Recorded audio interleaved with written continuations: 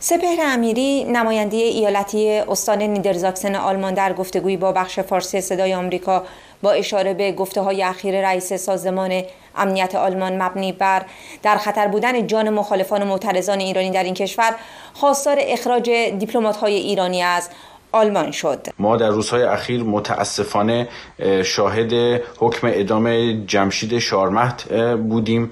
شخصی که در خارج از کشور فعالیت های بسیاری داشتند و امروز در زندان ایران هستند ما از دولت آلمان خواستاریم که نه تنها اعلام همبستگی بکنن با مردم ایران بلکه حفظ امنیت برای تمام کسانی که در خارج از کشور فعالیت های سیاسی دارند و چنانچه جمهوری اسلامی به کارهای تروریستی در خارج از کشور بخواد ادامه بده ما از دولت آلمان خواستاریم که تمام دیپلمات های جمهوری اسلامی ایران رو از این کشور اخراج کنه.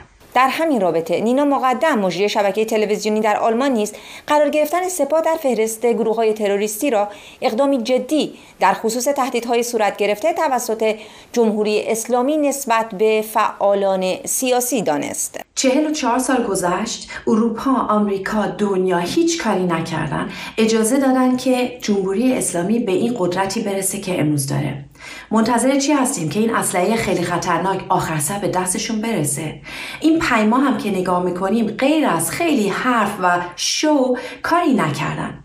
این خواست منه از همه ولی بخصوص از آلمان. اینه که فوری سفارت رو ببندن و فوری رابطه سیاسی رو قطع کنن و از همه چی مهمتر سپاه باید بیاد رو لیست تروریست. که سپاه دستش قطع بشه نتونه پول در بیاره. اصلا هیچ کاری دیگه نتونه بکنه. سابقه روبودن فعالان سیاسی و صدور و اجرای احکام اعدام تنها به جمشید شارمهد منتهی نمیشه.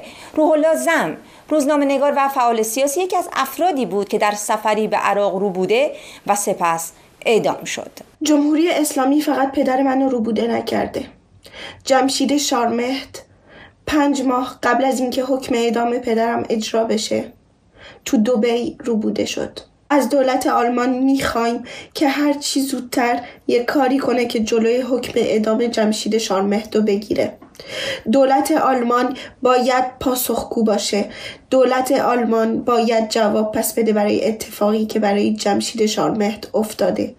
دولت آلمان نباید بذاره جم... جمشید شارمهد اعدام بشه.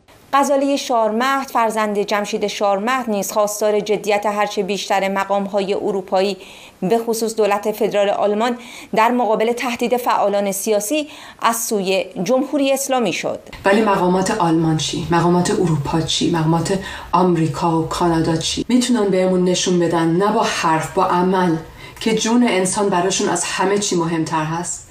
می‌تونن بهمون ثابت بکنن با کارهاشون کاری بکنن. که ما وقتی اینجا حرف می‌زنیم دیگه لازم نیست بترسیم که جمهوری اسلامی بیاد ما رو بدزده ببره ایران ترورمون بکنه بندازه توی زندان و حکم اعدام رو بهمون بده. می‌تونن با عملشون بغل ما وایسن؟ من اینو می‌خوام بدونم و اینو می‌خوام ازشون ببینم. همزمان با صدور حکم اعدام جمشید شارمه توسط جمهوری اسلامی صدها تن از ایرانیان معترض در شهر بن آلمان با برگزاری راهپیمایی در این شهر نسبت به صدور این حکم اعتراض کرده و خواستار قطع روابط دیپلماتیک آلمان با جمهوری اسلامی شدند. سار دماوندان صدای آمریکا هانوفر